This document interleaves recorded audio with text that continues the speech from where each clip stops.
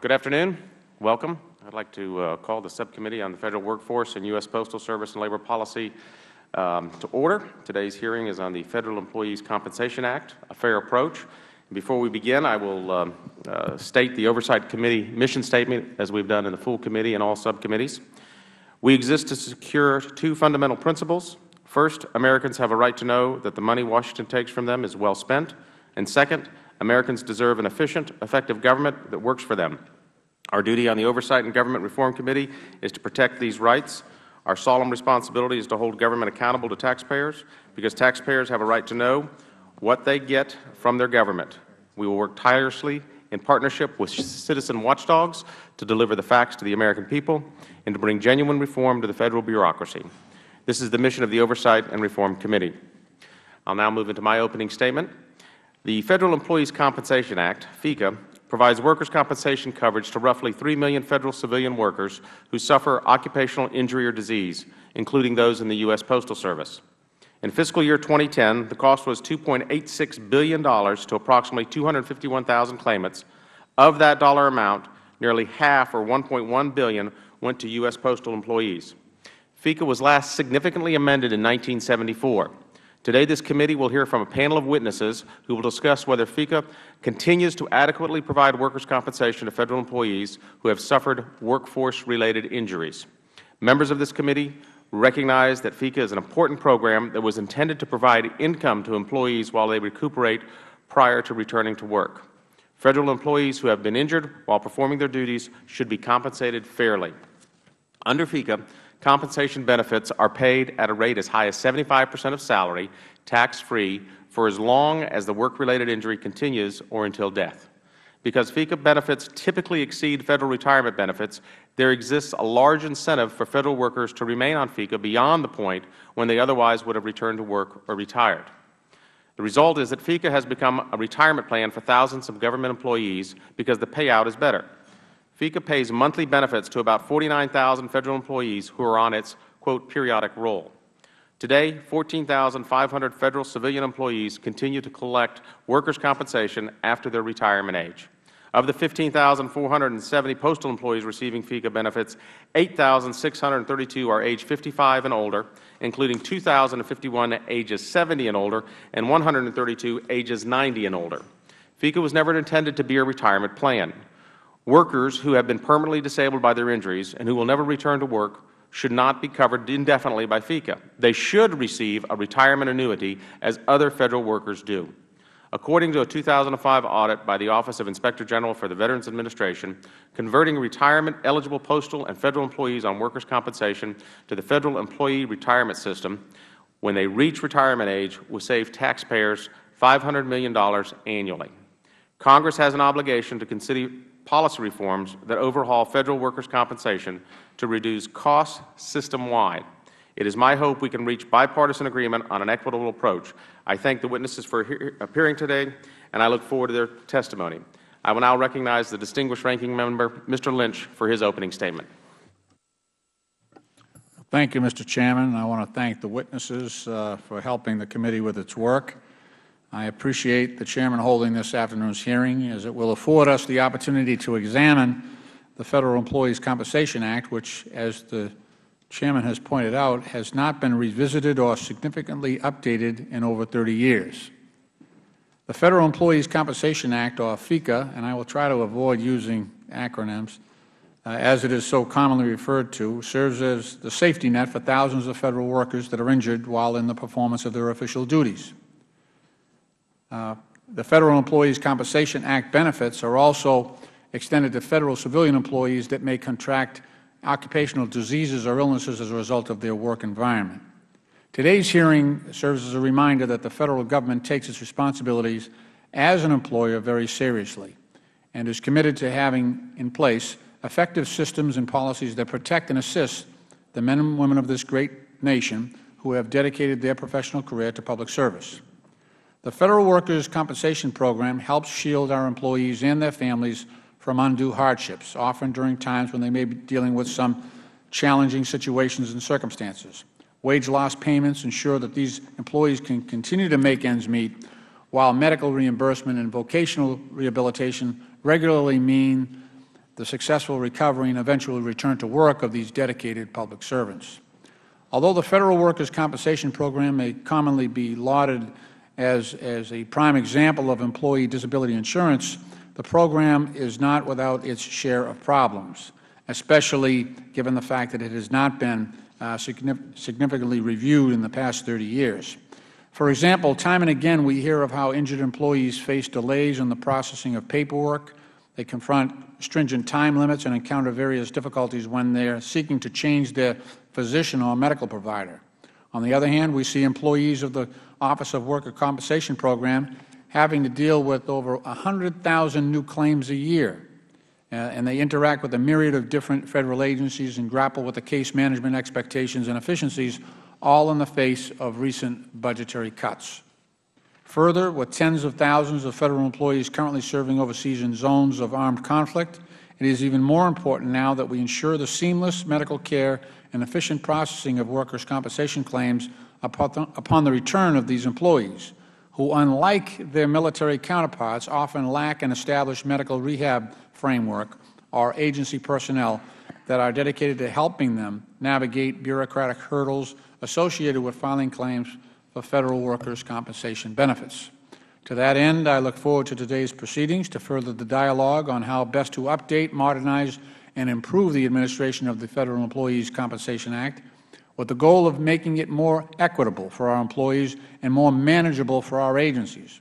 While I recognize that the various FECA-regulated uh, reform proposals that have already been put, up, uh, put forth this Congress attempt to accomplish this goal, I am less than confident that any of these proposals actually represents a truly fair approach to enhancing the Federal Workers' Compensation Program going forward, as contemplated by the title of today's hearing. Mr. Chairman, I would also like to ask unanimous consent that the statement of the National Active and Retired Federal Employees Association be included in the record. And again, I thank our, our witnesses for appearing here before this subcommittee this afternoon and for helping us sort out what options may need to be considered to guarantee that injured Federal employees and their family members are receiving the proper support and treatment they deserve from a grateful nation. Thank you. I yield back. Uh, thank you, Mr. Lynch. And without objection, we'll show the report entered into the record. Um, members may have seven days to submit opening statements and extraneous material for the record. We will now welcome our panel of witnesses. Mr. Gary Steinberg is the Acting Director of the Office of Workers' Compensation Programs at the U.S. Department of Labor. Mr. Douglas Fitzgerald is the Director, Division of Federal Employees Compensation at the U.S. Department of Labor. Unfortunately, David Williams, the Inspector General of the United States Postal Service, could not be with us today due to illness. However, Mr. Bill Siemer, the Assistant Inspector General for Investigation, is here in his place. We have uh, next Ms. Lisa McManus is the President of CCS Holdings, LP. And we have another witness who is not with us yet, uh, Ms. Rod Milagro Rodriguez, an occupational health and safety specialist with the American Federation of Government Employees. What I would like to do, pursuant to committee rules, is ask you to uh, stand, raise your right hand, and I will swear you in before you testify. Do you solemnly swear or affirm that the testimony you are about to give this committee will be the truth, the whole truth, and nothing but the truth? Thank you. Let the record reflect that all of the witnesses answered in the affirmative. Please be seated. Uh, in order to allow time for discussion, we are going to ask you to keep your marks, remarks brief. Your written statements, of course, have been submitted and are part of the record of this hearing. Um, at this time, I will now um, uh, recognize Mr. Steinberg uh, for an opening. Thank you, Chairman Ross and committee members. I appreciate the opportunity to discuss the Federal Employees Compensation Act with you today. On behalf of Secretary Solis, I would like to share a set of balanced proposals that would enhance the ability for us to assist beneficiaries in returning to work, provide a more equitable array of benefits, and generally modernize the program. Almost 95 years ago, Congress enacted FECA to provide workers' compensation coverage to all Federal employees and their survivors for disability and death due to work-related injuries and illnesses. The faces of FECA include the postal worker who is hurt when his mail truck is hit while driving and delivering the mail, the FBI agent who is injured or killed in the line of duty, and the VA nurse who hurts her back while lifting a patient. DOL's Office of Workers' Compensation Programs works hard to administer the program fairly, objectively, and efficiently. We seek to continuously improve the quality and service delivery to our customers, enhance internal and external communications, and reduce the cost to the taxpayer. We have made major strides in disability management, resulting in significant reductions in the average number of workdays lost from the most serious injuries. Over the last 10 years, the average number of days lost due to serious injuries has declined by over 20 percent, producing an annual savings of $53 million. Our administration costs are only 5 percent of the total program costs, far below the average of all State self-insurance programs, which is over 11 percent. To further improve FECA, we have made comprehensive recommendations to Congress. I wish to highlight some of the major changes now.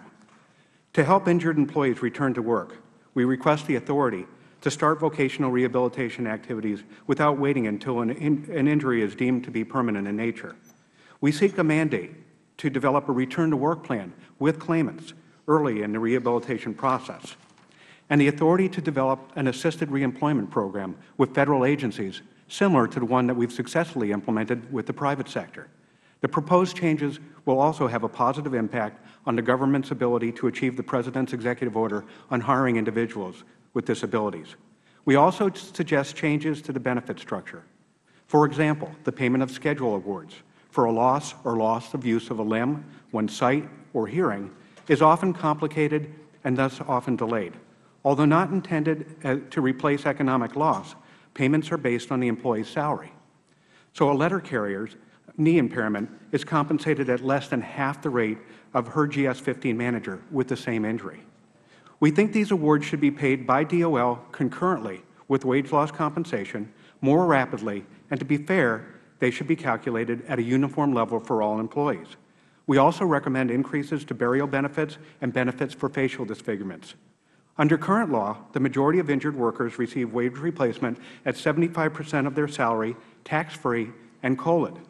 This rate is higher than the take-home pay for most Federal employees and at times can be an obstacle to the Department's effort to encourage every worker to make the hard and sometimes painful effort to overcome their injuries and return to work. We therefore recommend, sh recommend shifting the benefit level for the majority of claimants to 70 percent rather than 75 percent. To provide equity with other Federal employees, we also recommend establishing a lower conversion rate for, benefit, for beneficiaries beyond retirement age. This would more, more closely mirror OPM's retirement rates. Both changes would be prospective. In addition, elements of the statute need to be simplified so that we can, so we can process more expeditiously. For example, the current statute increases the compensation rate with anyone, for anyone with a dependent to beyond the standard 66 and two-thirds wage rate loss to 75 percent.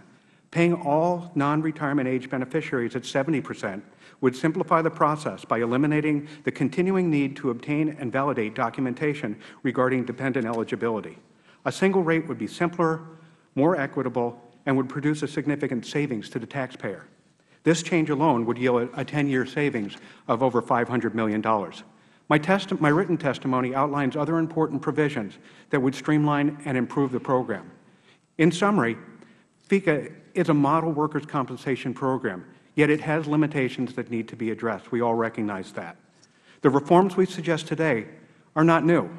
They have been proposed by both the current and previous administrations. They are careful, they are balanced, we believe they reflect good government, and they will bring the program into the 21st century. Thank you again for the opportunity to discuss the program with you today. I will be prepared to answer any questions that you may have. Thank you very much. Uh, next, we'll move on to Mr. Siemer for five minutes. You're recognized. Thank you, sir. Mr. Chairman, Ranking Member Lynch, and members of the subcommittee, thank you for the opportunity to discuss workers' compensation issues and reform. The Federal Employees Compensation Act, or FECA, requires Federal agencies to participate in the Department of Labor's FECA program. Department of Labor bills each agency annually for compensation paid, and non-appropriated agencies also must pay Department of Labor an annual administrative fee. Eligible disabled employees receive 66 and two-thirds percent or 75 percent with dependents of their basic salary, tax-free, plus medical-related expenses. Also, FECA places no age limit on receiving benefits. This is substantially more than other employees receive when they retire.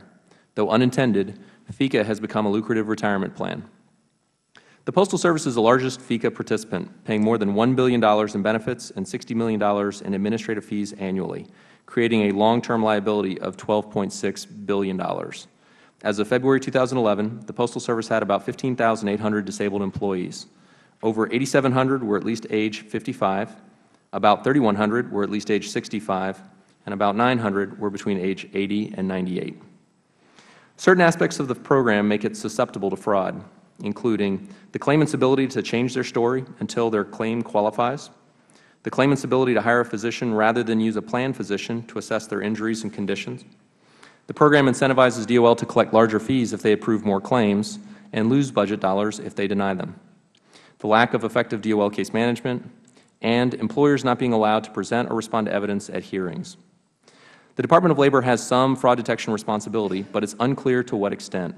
They advise agencies to actively manage their own programs while still charging administrative fees.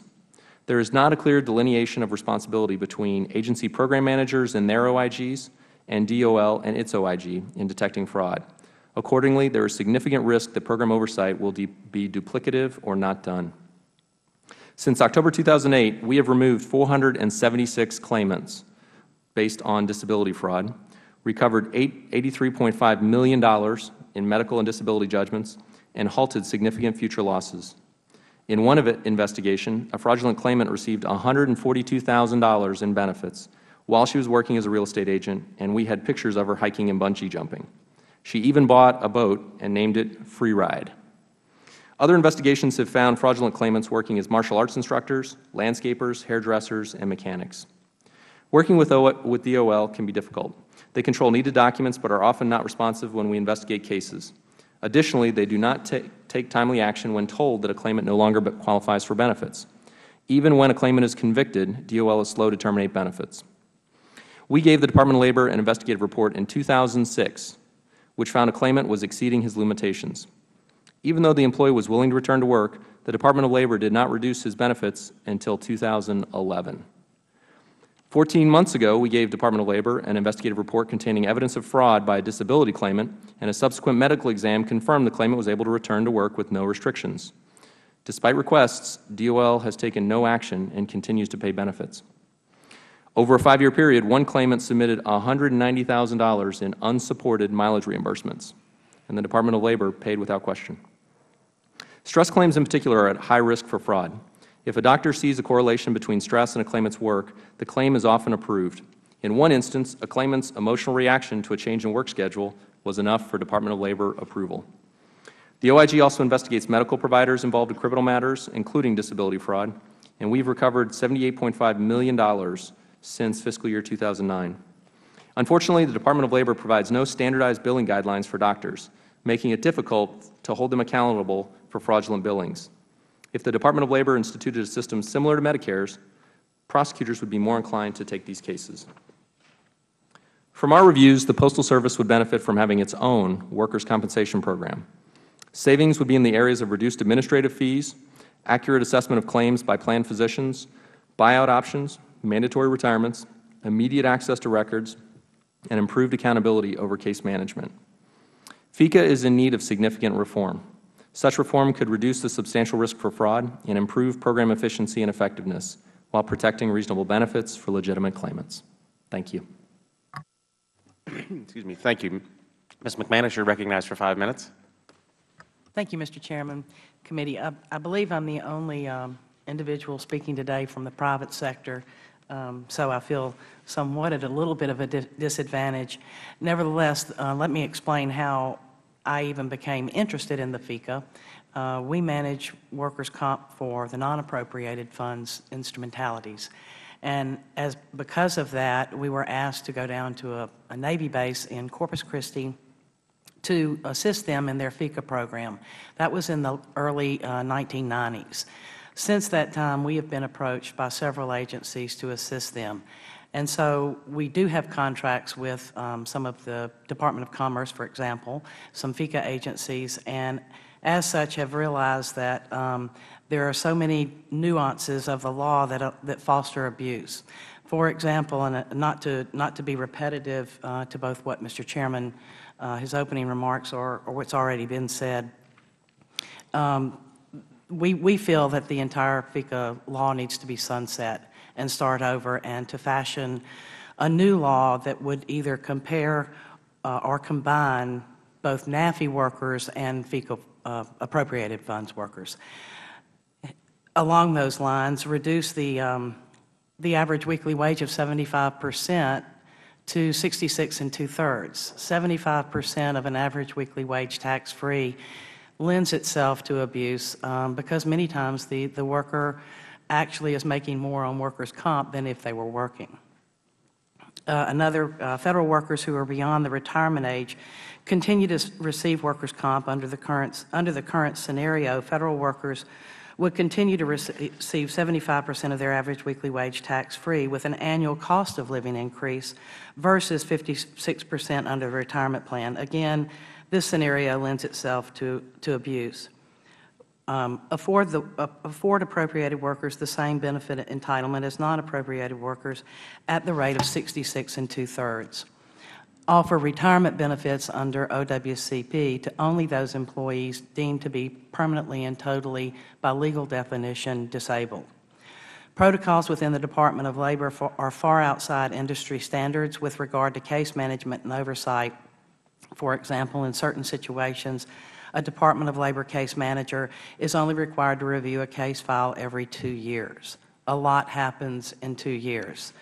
Perhaps change the law to allow a government agency the option of seeking a third-party administrator to handle its FECA claims, or the Department of Labor increase or increase DOL staffing that would ensure proper case management that closely aligns with industry standards.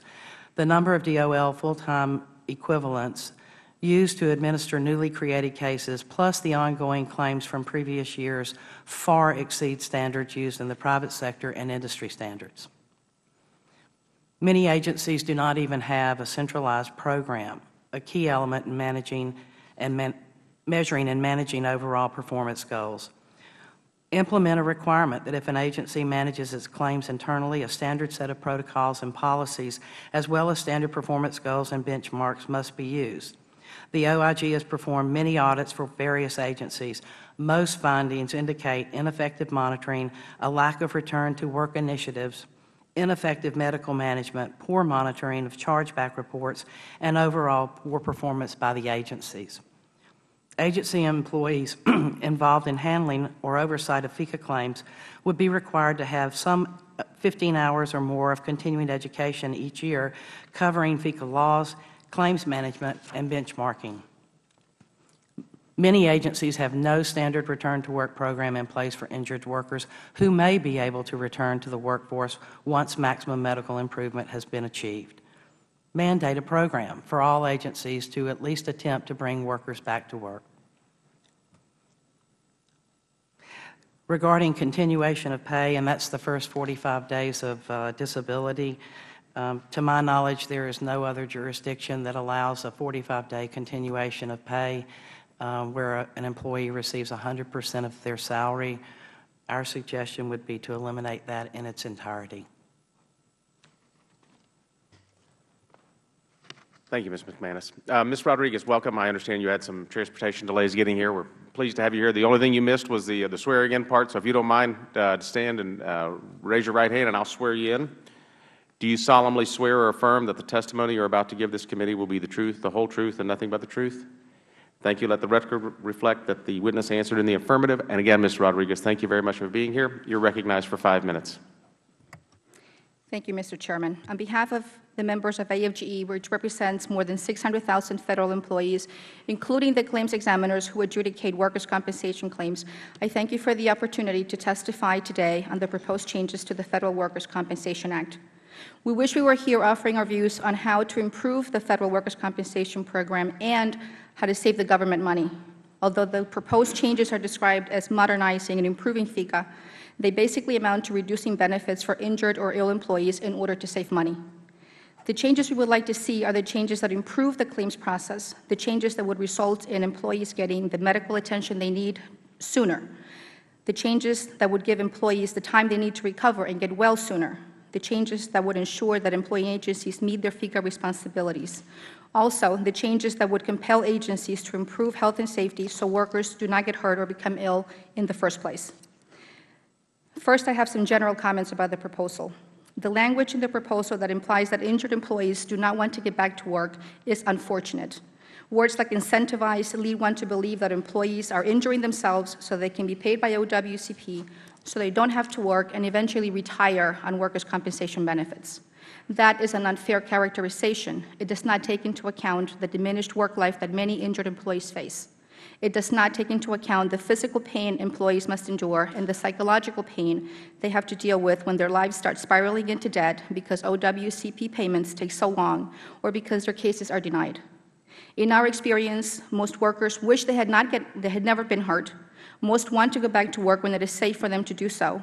And most wish they did not have to deal with the workers' compensation process at all. Next, I'd like to address some specific changes that are being proposed. The proposal to create an assisted reemployment program seems to be a positive step. However, we are concerned that this program would serve as a disincentive to agencies to make every effort to find suitable jobs for their injured employees. It would potentially create a rush to get the employee into the program, and the worker may be forced to return to work before it is medically advisable. AFGE is also concerned about what happens after the three-year period. For example, a TSA worker is injured and cannot do his TSA job, but he can do a Social Security job. So for three years, he works at SSA, and DOL reimburses SSA for his salary. But if he cannot go back to his job at TSA, and SSA will not keep him without the subsidy, what alternative does the employee have? We are also concerned about how OWCP will address the needs of workers who do not find employment after the vocational rehabilitation program is completed. We think agencies will use this to get rid of their injured employees. We see this happening already at TSA. AFGE does not believe claimants should be forced to choose between a lower disability retirement than they would have if they had continued to work, or having their benefits reduced through the proposed conversion. To make this change more equitable and fair to claimants, the amount of the reduced benefit should be higher than the proposed 50 percent. The proposal would eliminate the increased percentage for claimants with dependents, making the basic compensation rate 70 percent of monthly pay for all claimants. We don't see this as a matter of increasing compensation because a worker has dependents, but of providing injured workers with compensation comparable to what would be their take-home pay before their injury or illness. The proposal would place the three-day waiting period immediately after the employment injury and prior to the 45-day continuation of pay period. So if a worker is injured or made ill on the job, the worker already suffers a loss of income or is forced to use his or her own leave. Other than penalizing employees for becoming sick or injured on the job, we do not see any reason to change the way it is currently done. The proposal to include sanctions for non-cooperation with nurses is too harsh and does not include any due process considerations. In our experience, the primary reason claimants sometimes resist their nurse's intervention is that some nurses exceed their authority by adversely influencing the treating physician's opinions or reports to OWCP. If there are to be sanctions, there needs to be a forum for the claimant to state his or her position and to be heard. In closing, the Federal Workers' Compensation Program should strive to be the best, the model program. It should not be competing with the States in a race to the bottom by lowering benefits to the States' levels. We urge the subcommittee to direct the Office of Workers' Compensation Programs to propose changes that save money by improving the workers' compensation process and not simply by reducing the benefits available to employees injured or made ill by their jobs when they most need them.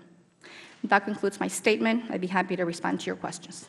Thank you, Ms. Rodriguez. We'll now move into questions, and I'll begin by recognizing the uh, full uh, committee chairman, the distinguished gentleman from California, Chairman Issa.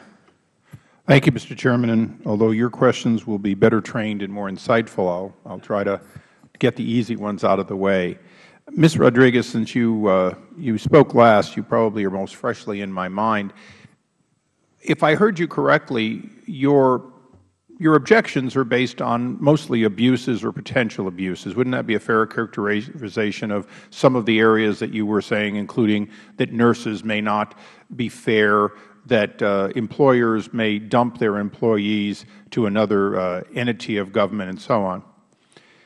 Can you show me any example in the private sector where there is a system that looks like the system that you would modify our thoughts to? In other words, where in the private sector would the current system be paralleled? In other words, who treats the private sector? Who, for example, like the Post Office, and I don't pick on the Post Office lightly, but their system allows two 98-year-old uh, people to begin, continue getting full pay uh, years and years after they should have retired. Now, Postal workers don't like this any better. It's just part of the legacy system that has thousands who are past retirement age but still not disabled and retired in any way, shape, or form. So are you saying that you like some parts of this uh, uh, proposal? And if so, what part do you like? Well, there are some, some areas that, uh, that, are, that would, would be beneficial to employees. Um, things like, you know, streamlining, and I know that there's, you know, we're all about uh, cutting costs, and I think comparing. Well, no, we're not necessarily about cutting I- although we certainly do want to make the system world-class. Let me go through a couple of questions. Okay. Do you believe that if someone is unable to do one job but able to do another job, they should be able to do that job during their short or long-term disability? Yes. And we often struggle with agencies to provide Okay. those positions for them, yes. So, assuming for a moment that there were a, a neutral third party, uh, and I'm trying to find a yes here, just in case you see I'm fishing for it. If there were a neutral third party that arbitrated, in other words, an agency couldn't arbitrarily get rid of somebody, refuse to take somebody, and for that matter, if you will, the disabled would be fairly uh, allocated to agencies where they could perform the job. If we did that, and I did not say with a subsidy, but if we did that so that the person would be able to go to a part of government which they could still perform. This is very much like our disabled veterans who so often find usable and, and worthwhile jobs in the post office where they get a preference. Mm-hmm. If, in fact, we developed that system and had safeguards so the agencies themselves were not arbitrary, would you approve of a change like that? Yes, that would, I think that would benefit employees.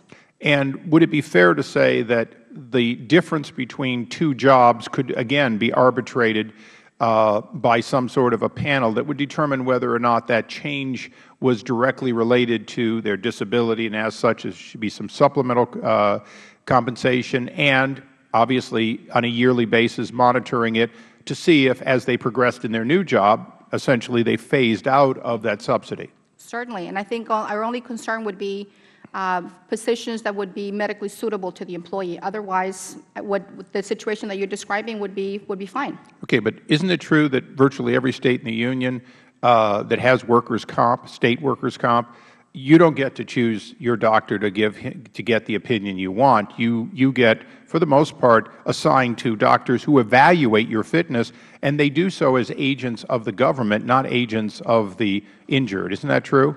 I can only speak to my experience with the Federal Government. I cannot compare with, with the States. I, I am, I have not worked in workers' compensation with the States, so I, I cannot answer that. Okay. Well, uh, Mr. Steiner, I think I'll, I'll go to you. If you're looking at trying to eliminate waste, fraud, and abuse, uh, and you're trying to find those very few, and they are a few, who ride the system, who, uh, you know, have a football accident over the weekend and somehow turn it into an injury that they never work again and they, they, they get all these benefits. We all know there are some of these, as few as there might be. Wouldn't it be true that the government should obviously consider outside opinions contrary to the government's, but shouldn't the government have a medical uh, review board that works on behalf of a fair interpretation of the government, not, not incentivized to take people off disability, but paid to do an evaluation for fitness? Yes, that would certainly eliminate a lot of the potential for fraud by claimants that are trying to abuse a, a good system. Because when they can pick their own doctors, there's the implied ability for them to have a biased opinion on their side. And as we're trying to get to a fair and expeditious system, fair to the employee but expeditious to the process, do you believe that the government should act, maybe not everything that Ms. Rodriguez wants to do or doesn't want to do, but do you believe the system, uh, whether it's the post office or other Federal employees, right now needs reform? Absolutely. Thank you. Mr. Chairman, I told you I wouldn't have the best questions, but thank you for letting me have the first. Yield Very- back. Very good questions. Thank you, Mr. Chairman. I now recognize the ranking member of the subcommittee, the distinguished gentleman from Massachusetts, Mr. Lynch. Thank you, Mr. Chairman. I appreciate that. Uh, Again, I I thank the witnesses for for helping us with our work. Uh, Mr. Siemer, I was uh, surprised by some of your numbers, especially regarding the the older employees who who remain on the retirement, the the FECA retirement, excuse me, the FECA uh, disability uh, system uh, as opposed to retirement. And I I want to go back to your numbers. You had, I think it was like 4,000 employees over age 80. We had Wasn't uh, it? 900 employees I'm sorry? over 80. We had 3,100 employees over the age 65, and we had 8,700 employees that are over the age of 55. Yeah, I'm taking the later, latter two categories there. Yes, sir. So about 4,000, is that what you had, 900 and 3,100? Yes, sir. And, and those are all over 80 years old? Over 65. Oh, over 65, right. And then, and then there was a smaller group, 900 between 80 and 98? Actually, sir, the 900 is a subset of the 3,100. Oh, okay, okay, okay. So 3,100 there's- you don't combine them, it's all, all one. But Yes, sir. still, that's a pretty big number. Yes, sir.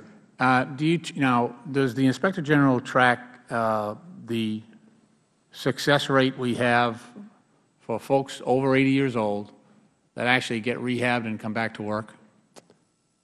The Postal Service may have that information. The Inspector General's office does not. Yeah, yeah, I'm just curious, because it would seem to me to be a, uh, do any of the panelists have any, any indication of how many people who are injured and over 80 actually return to work? We can't tell you over 80, sir. What we can tell you is that, um, on average, over 500 individuals are removed from our, our long-term roles on an annual basis. Over the last 10 years, it's, it's been close to 10,000. So there are individuals who move off for a variety of different reasons, sir. Yeah, But but I I'm really, I'm really focusing on that, you know, we're trying to devise some reforms here, and if, you know, that would be good information for me to have. We can provide that for the record, sir. Yeah, that'd be great. Uh, So, Mrs. Steinberg, you're going to provide that, or is Mr. Siemer going to? We'll provide that, sir. We can Okay. provide that for the government. Okay, that'd be great. So anybody over 80 years old, Yes. um, maybe you can give me quadrants like 70, 80, 90. Uh, You know, it would just seem to me, look, I'm just, you know, I'm just looking at this as, as an average person, not as an actuary, but it would seem to me that it would be pretty slim uh, chance that someone age 90 or 98 is, is coming back to work uh, after a, an occupational injury. I'm just trying to save the government some money here. Uh, So maybe we could, we could take a, take a whack at that. Uh, uh, Mr. Siemer, again, I, I, I'm probably tooting my own horn here. I, uh, I filed legislation along with uh, Ranking Member Cummings. Uh, I introduced H.R. 1351, the United States Postal Service Retirement Pension Obligation Recalculation and Restoration Act. Title just kind of rolls right off your tongue. Uh, a couple of weeks ago, and uh, contained in, in my legislation is a proposal to use a portion. We've got a portion of the postal, U.S. Postal Service's uh, FERS, the Federal Employee Retirement System. We had a surplus of $6.9 billion. And what I try to do, we try to do, is to move some of that money over, about 1 point, I think it's 1.2 billion, to, to pay uh, some of the on-budget costs of the, of the workers' compensation system. Uh, You have any comments on, on uh, the wisdom or lack of wisdom that I might have uh, in, in trying to, trying to do that?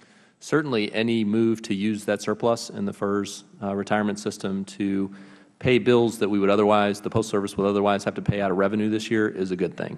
So applying it to those normal costs that are occurring this year is a good thing.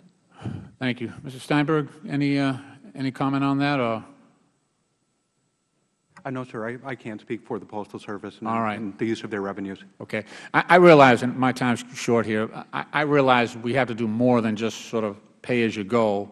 We've got some real reforms here that we have to tackle, and I appreciate that and, and your help in doing so. But uh, in the meantime, you know, I, I think it's fair, given that that's a surplus owed to the Postal Service, that we, we, we pay for some of the costs going forward. Uh, I've got 12 seconds. I'll, I'll yield back. Thank you, Mr. Chairman. Thank you, Mr. Lynch. Um, A couple of questions that I've got. Uh, For lump sum settlement purposes, uh, Federal employees and the Federal Government cannot settle the exposure in a case, can they, Mr. Steinberg? No, sir, we do not do that at this point in time. And, but wouldn't that be a good idea for both sides? In other words, if you knew what your exposure was, and, and, in, and in state workers' compensation programs, for example, allow this, but it would it allow for the injured worker to get on with their life, to be able to have benefits in a lump sum fashion, and then actually have the benefits survive them uh, by way of an annuity. Let me address that from two different perspectives. As I mentioned in my testimony, we do propose a lump sum payment for a, a, a scheduled award. And again, that's associated with a a, a permanent functional disability, and there's that form of compensation. That can serve as, a, if you will, an investment for retirement for an individual who may have a lifetime disability. In terms of a lump sum payment associated with the wage loss, we believe that that should be a continued payment.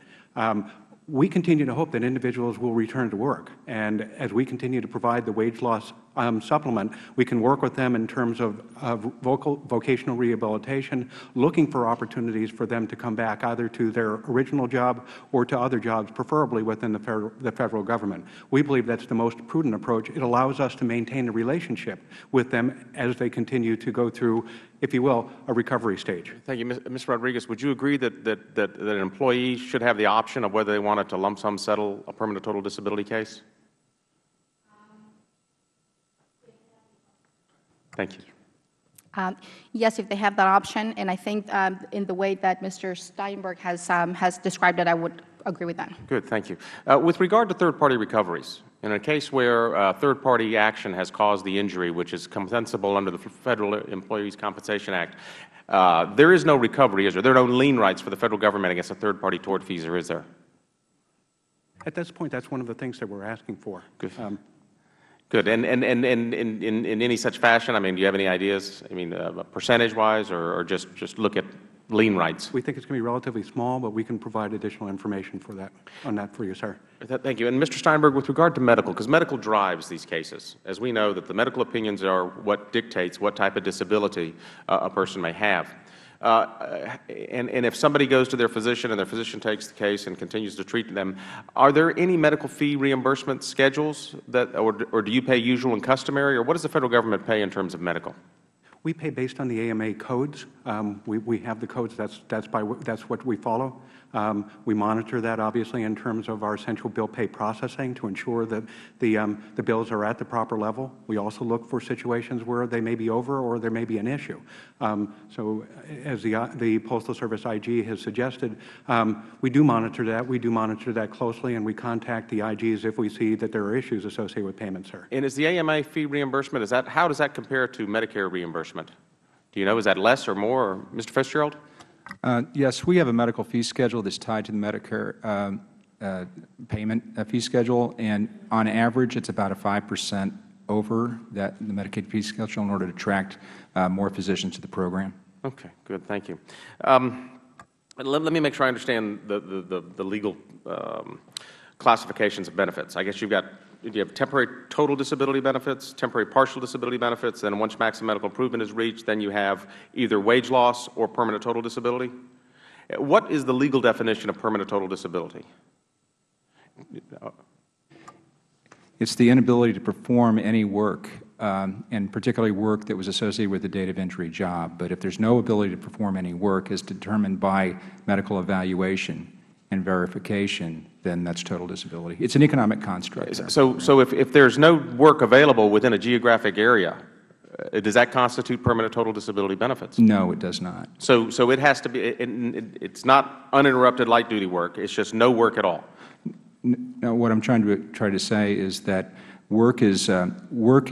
The ability to work is the determinating factor whether or not compensation is paid, not the availability of a job. If someone has a wage earning capacity, we will not re, we will not pay benefits to them for that. and how is that determined? Is it through vocational rehabilitation testimony as to whether they have wage earning capacity? It's an evaluation done by uh, uh, medical professionals and voc rehab specialists. Okay.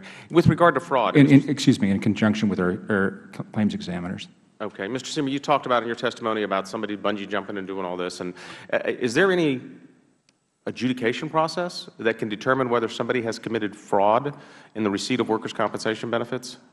We, uh, anytime we investigate a, a claimant that appears to be defrauding the system, we present that to a prosecutor for prosecution. Um, we count on feedback from the Department of Labor if they encounter fraud, but we've never received a referral And, from them. and one last question, because I'm a little bit over my time here. Um, if there is a determination or adjudication of fraud and they're found guilty, does that in any way affect the receipt of workers' compensation benefits? Yes, if they're, com- if they're convicted of FECA fraud or healthcare fraud related to their current injury, that, the, the benefits for that injury are immediately terminated. However, that conviction does not prevent them from claiming a new injury in the future if they continue to be an employee. Thank you very much. My time has expired. I'll recognize uh, the distinguished gentleman from Virginia, Mr. Connolly. Thank you, Mr. Chairman. Um, If I can just pick up on that last thing, Mr., is it Simer or Siemer? Siemer, sir. Siemer, thank you. Um, You mean somebody convicted of fraud would still be on the Federal payroll? If they remain an employee, I, I, no, no, that's what I'm asking. Somebody convicted of fraud can still remain a Federal employee? yes. How is that possible? Um, We have instances where um, some of the employees, not for uh, medical fraud, have been convicted or pled guilty in court, and uh, through arbitration at the Postal Service, they've gotten their old job back. So they don't go to jail? No, that person did not that I'm thinking of. Right. But I mean, that's up to the courts, not the Postal Service or the Department of Labor. About whether they go to jail? If they're convicted of fraud in a court of law, it's up to the court to decide their, their sentence, Yes. not the Federal agency. Correct. Okay. I just want to be clear about that. Um, uh, Mr. Steinberg, do I understand that uh, for the Federal Employee Compensation Act, overhead is just 4 percent of benefits? Overhead is actually 5 percent, sir. 5%. And has remained at the level um, for years. And Federal workers' compensation costs are 1.8 percent of total Federal and postal payrolls? I believe so, yes. And that compares to 2.3 percent for private insurance and state funds? I can't speak to the private sector or- or the state fund, sir. Well, I'm actually reading, I think, from your website. Um, Do I also understand, I mean, but if that were true, that would compare favorably. Yes, sir.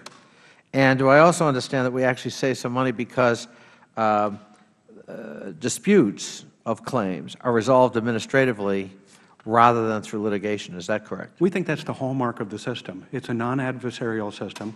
Um, We, we are unbiased. We are looking at the situation. We are required, we are are required to review medical evidence. That's the basis for our adjudication. It's important to point out that 85 percent of the claims that we receive, we accept. 15 percent of the claims, we do reject. And those are, those are Right. cases where we determine not a, it's not a But work-related. But the point is, we save taxpayers a lot of money by avoiding litigation in the system. Yes, sir, we do. All right, thank you. Um, Mr. Siemer, uh, you talked, and, and Ms. McManus, I want to come to you as well. In fact, let me start with you, Ms. McManus. If I understood your testimony, you called for the complete sunset of the program on two bases. One was that somebody might actually, uh, in compensation, get more money than they would otherwise get in, for example, a pension situation, and therefore we were rewarding people for being injured. And secondly, uh, secondly, somebody might game the system, commit fraud. Is that correct? Partially, um, sir. That's not the only reason we would recommend sunsetting the FECA law. Those are just a few Okay. examples. Let, let me ask you. Let me ask you a question. um, do people game private insurance? For example, do do, do people game uh, uh, building insurance or auto insurance? I think it's safe to say yes. Do you think those two systems, for example, ought to be completely sunsetted and we all start over again to, to, to create some new insurance system that somehow avoids that? No, sir. So why would we do it for FECA, other than it happens to be a Federal program? Well, by comparison to other workers' compensation laws, and if, if you look at sheer numbers, um, it, it's, it's vastly greater than any other comparable workers' compensation law as far as the benefit entitlement. So, but why not reform it? I mean, there are lots of reforms on the table. The administration has one, Susan Collins in the Senate has one, we have several here. That would be a great alternative. Okay, rather, than, that's all I was trying to get at. Sunsetting the entire program is a fairly draconian measure. All right. And I have 53 seconds left. Mr. Siemer, uh, you gave us an example of somebody who named her boat, obviously, uh, apparently successfully having gamed the system. And while that's uh, certainly a juicy tidbit, um, hopefully you didn't mean to suggest that that characterized, that that gaming characterized the whole system and that everybody was sort of gaming. You meant to illustrate how it could be abused in the extreme. That's exactly correct. And, and you would agree that, you know, abuse of, of, a, of a system, compensation system such as this, is not limited to the Federal Government. It also occurs in the private sector. I would imagine so. Is there any reason to believe that it's more, uh, that it occurs more often in this program than it does, in fact, in the private sector? I have no idea, sir. Thank you. My time is up. Uh, Thank you, Mr. Connolly. And now I recognize the uh, Vice Chair of the Subcommittee, the distinguished gentleman from Michigan, Mr. Amash. Thank you, Mr. Chairman, and uh, thank you all for your testimony. Uh, Mr. Steinberg, the President's Commission on the Postal Service argued the Postal Service should be given uh, relief from the provisions of FECA that create costly unintended consequences. Do you agree, and why or why not? I believe that we should work closely with the Postal Service to ad- address the requirements of the program. Um, I believe we have an opportunity to work in partnership to address many of the issues that were discussed today. Um, I think we, all, we share in a responsibility to help their injured workers re return to work and to provide wage, wage loss um, compensation while they're injured. What is the level of overpayment in FECA? Uh, Improper payments, Yeah. over- 0.1 percent, How much? 0.1 percent, 0.1 percent. as measured by our Office of Chief Financial Officer for the past several years. Uh, Would the conversion from FECA to retirement allow broader survivor benefits? The, the conversion to, um, if you will, from, from FECA to, to, FER, or to FERS, for example, um, would, would not ex- expand the, the survivor's benefits. Um, it would create some challenges um, between us and, and obviously the Office of Personnel Management. Um, that's why we suggest the conversion to a 50 percent level, which more closely relates to the retirement benefits from OPM. Uh, Your testimony, Mr. Steinberg, states that uh, less than 2 percent of all new injury cases remain on the periodic roll two years after the date of injury. How does this compare to the private sector and state programs? Uh, that's something that we'll research for you, sir. Okay, Thank you. Um, And uh, at what percentage of time does uh, OCWP uh, staff, do- uh, OWCP staff devote to the management of new FECA disability claims or cases versus screening long-term disability cases? And is an appropriate mix? We, we have evolved that over time. Um, when the program began, there was a major focus on review, adjudication, the payment. Um, over the last many years, as I talked about, we've been able to impact the return to work rate significantly, and that's because we've applied a more balanced approach to dealing with the front end of the process, but also the return to work. And we, we've made significant improvements in that arena, sir. In um, Mrs. Rodriguez's written testimony, she indicates that many Federal employees are going into debt due to DOL rejecting a claim or taking too long to process it. Do you have statistics on the 15 percent of claims that are rejected in a given year? Sir, if- you could clarify the nature, the, the 15 percent, those are claims that we've reviewed, have been determined to be non-work-related injuries, and we, we gained that through the evidence and through the discussions with the claimant themselves. So is it a fair accusation that the uh, accepted claims are not processed in a timely manner? No, I believe that the accepted claims are processed in a, in a timely manner. Um, we can submit for the record data that shows the, the timeliness associated with, with our claim submission. On average, um, the, the, the average claim is processed within 16 days. Um, 94% of our, of our claims are processed within one month. These beat the standards that, are, that we've established with OMB, yet we will continue to try to push to lower those numbers. Thank you. And if you could submit the information on the timeliness, we'd, we'd appreciate that. Um, uh, Mr. Rodriguez, do you think it's appropriate that some Federal employees continue to receive FECA benefits well past retirement age, in some cases at the age of 98? Keep forgetting that. Um, I think there is room for some improvement in that area. Certainly, you know, people who would retire normally, I just think our, our, our basic concern here is making things more equitable and not um, having the worker suffer a loss if they would have continued to work. And so something that is more equitable to what they would have been receiving in retirement would be acceptable. Um, and I know some of the proposals have, you know, have looked at what OPM would do. Um, we think 50 percent is, is not the right amount. Uh, people who continue to work, they would have access to higher, uh, their higher three average salaries would, would be higher than when they stopped working. Uh, they would have had the opportunity to contribute to their thrift savings programs, um, things like that that, would, that other people who are not injured would have access to. Uh, we don't want to shortchange the people who did get hurt and were not able to continue to make those contributions into retirement. And you, you offered several suggestions in your written testimony on how to improve DOL's FECA reform proposal. Do you have any uh, cost estimates on your uh, reforms? No, I do not. Okay, uh, uh, thank you, Mr. Chair.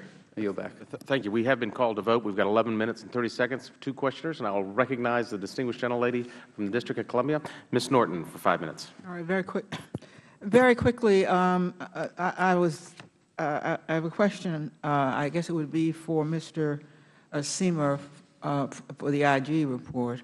Um, I, I always find the, the um, examples anecdotally uh, striking, uh, but they immediately raise new questions for me. How typical, and what does the data show? For example, most of the uh, um, cases of the kind, $142,000 lady uh, who was working as a real estate agent and was caught bun uh, bungee jumping. Most of those cases, frankly, I read about in state in, in the states. You know that a cop, for example, who's been off duty for two years and is out hiking or doing something worse. Most, you know, the ones who make the newspaper. In other words, I've seen these a lot. So my first question is, uh, really goes to uh, uh, uh, how bad the system really is. You say uh, we have removed 476 claimants based on disability fraud. Out of how many? We investigated, uh, since the beginning of fiscal year 2009, we've investigated two, a little over 2,000 allegations that claimants were defrauding the system. So this is in, in 2008 alone? Uh, since uh, the, the beginning of fiscal year 2009, so October 1st, 2008 to Until- present, so two and a half years. So uh, uh, you would call that high in relation, for example, to the states or to the private sector? I have no idea how that data compares. I, I, I'm having a hard time understanding what would be a fair number, frankly. Uh, If, if you're a member of the public, any number looks awful. Uh, But I can't tell unless I compare it with something. Mrs. Steinberg, do you have any, uh, any, any, any at least comparative? I certainly do, ma'am. Um, If you, if you put it into perspective, we receive 130,000 cases a year. Um, Based on, on our information and our discussions with our IG, there are less than 100 convictions per year. So it's a very minute portion of the percent. Those are prosecu- prosecutions. So uh, are you in touch with that data, Mr. Siemer? No, I, I, I'm not certain how that data compares to the, the universe of cases we've investigated. However, How, uh, how was your universe chosen? Uh, just from the cases that we worked. So it was random? No, it was the, the healthcare fraud cases we worked over the last two and a half years. In that body of work, 116 of those employees were arrested, and a subset of those were, were And so you chose those because those were really problematic, that, Uh, that, that, that category. Well, it was just pertained to the testimony. I brought in the, the universe of work that seemed. But it, that is, that is by, by all measures, uh, uh, a particularly problematic uh, category of, We, um, we investigate allegations for a variety of reasons. Clearly, it is a very small subset of the total number of legitimate well, uh, claimants out Stein, what do you think of Mrs. Steinberg's number? Um, the, the, the relative number of convictions, I don't think, has a direct bearing on how many people are getting benefits and shouldn't be. Well, how many people are getting benefits that shouldn't be of those 130,000? Well, a quarter of the people that we investigated were removed or retired or So resigned. you're saying a because of- quarter of the people? That we investigated. Uh, Well, but obviously that isn't my question. Uh, You investigate, you investigated a, a particular slice, and uh, we're being told the program needs a complete overhaul. Uh, Therefore, uh, it's fair to ask, how typical is your slice of the program? Well, we, I believe, represent half of all of the, the, the benefits that are paid out through the OWCP program in the Postal Service. And this past year, we had 15,000 people, 800 on, on the long-term periodic rolls. In a given year, it looks like we have 200 people that are removed from those roles. So that's the percentage that, that we see. Now, considering, internally. Mr. Mrs. Steinberg, that we're talking also about federal employees, and there's a recommendation uh, that the um, Postal Service ought to be separated out, does the whole panel think the Postal Service ought to be separated out? No, no, ma'am. We believe that. You don't think so? We believe that we have the skills, the experience, the capabilities to do this. Um, we have individuals who's trained. This is, this is our core mission. Um, we don't believe that that's the core mission of the Postal Service. As I indicated earlier, we're looking forward to working with the Postal Service to try to address their issues and to improve the program. Well, is Mr. Mrs. Steimer's uh, uh, uh, data reflect uh, accurately on the full, the full complement of uh, uh, disabilities that you look at? Claimants you look at? Well, again, as, as um, pointed out, the Postal Service is 40 percent of our customer base. Um, I think, as you've suggested, by looking at the numbers, there's a, a, a very small cadre of individuals who commit fraud and I think has suggested an even smaller group of individuals who are ultimately convicted of fraud. We found this, I, I oversaw the program for a number of years at the Department of Veterans Affairs, and we found very similar type of information where we had over 15,000 individuals who were on the roll. When we did a complete review, we found that less than half of 1 percent were individuals that we referred to the IG. So it was a very small number. Um, Thank you, Mr. Steinberg. I'm afraid the time has expired. And I'll recognize the uh, gentleman from Illinois, Mr. Davis, for five minutes. Thank you very much, Mr. Chairman. Uh, Mr. Steinberg, uh, the AFGE's testimony focused a great deal on problems that individuals have with agency processing of claims.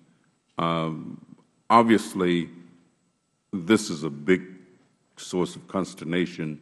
Do you know? Do you think that the agencies could improve uh, the time that that that it often takes to get a claim processed, so that individuals know the result and they can get back to work, or Mr. Davis, that's an excellent question. Um, and I can speak to my experience overseeing the Department of Veterans Affairs. Um, I believe Mr. Lynch referred to the IG study of, of, 19, of, of 2005. And there were a number of issues that were identified. We did a, a major planning exercise and a major transformational activity that focused on improving our process. One of the key elements of that was improving communication between the agency and the Department of Labor. We set, it, we set up quarterly review meetings where we would talk about cases. We would focus on particular problem cases. This significantly helped Im improve the, the processing and, and improve the situation. We also did extensive training within the Department of Veterans Affairs to educate both the employee and the supervisors in terms of the process, and we also changed the culture in terms of return to work work. One of the reasons that I was so honored to join the Department of Veterans Affairs is to take those types of success stories and share those with other departments and agencies, and I'm committed to doing that, sir. Thank you. I, I represent an area that has a large number of postal workers. I come from Chicago, Cook County, five and a half million people, almost a lot of postal workers. And there seemed to be a great deal of controversy surrounding what qualifies for a duty change where physical uh, requirements have had to be met relative to the acquisition of the job. Uh, are we making headway in determining uh, what really constitutes the, the ability to move from one level or one piece of work to another as a result of injury or, or, or something comparable? I am prepared to address the, the, positive aspect of that. Over the years, we've worked very closely with the Postal Service to monitor the status of their employees as they go through rehabilitation and to look for opportunities for either full-time placement or light-duty positions. And over the years, we've been successful in that. Um, we hope to continue to have that type of focus. And again, that's a partnership, as I indicated earlier, between the, the Department, DOL, the claimant, and their physician, and we all work together in partnership to try to look for the right opportunities. So we, we have experienced success in the past. Anyone else have any, any thoughts about that?